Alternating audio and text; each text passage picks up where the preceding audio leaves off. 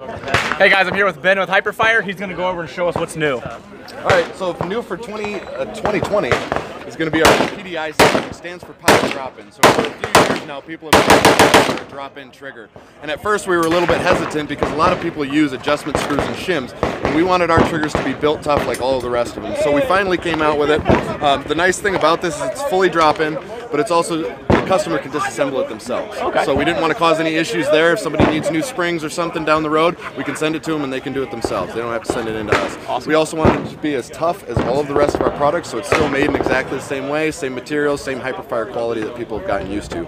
This new one's going to come in with a uh, two-pound pull. It's going to be nice, short, uh, pre-travel and reset. It's going to hit about five percent harder than a standard mil-spec trigger, and it comes in multiple different coatings and trigger bow styles. So these are going to uh, MSRP at about $180. Okay, so you said harder, so you're looking for steel case damage, what you're gonna shoot for, for harder primers? So as, as, as far as all that goes, the uh, standard mil-spec hammers are usually pretty good, but as the springs start to wear out, um, they you can start getting light strikes. So Okay. hitting a little bit harder than that. Um, we haven't gone through full testing on the 7.62 by 39s and those harder cased ammos yet, um, so I can't exactly say that.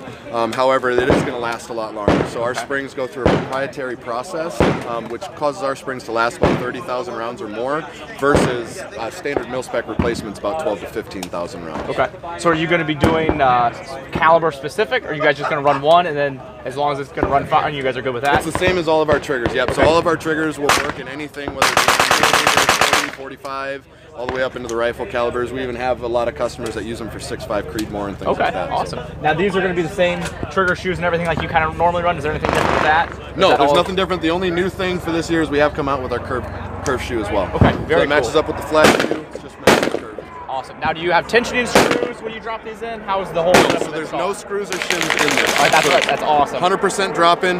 We have a little uh, spring loaded detent in the back. So with our HyperTouch series, we realized that we could rest our frames on the safety selector and not cause any issues. So now we've put a little ball detent in there. So once you get those pins in place, that ball detent causes some pressure and allows it to sit in, in place. Okay. And, and these will come with the anti-walk pins that we, that we come out with Awesome. for these triggers.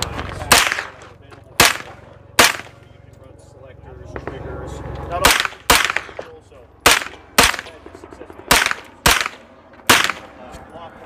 Jeez, now This is set up. that is light. All right. Magnums are shooting all three inches. Two recommend.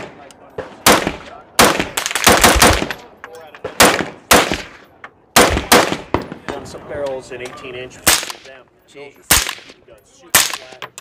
Uh, so, anyways, that's kind of what we got.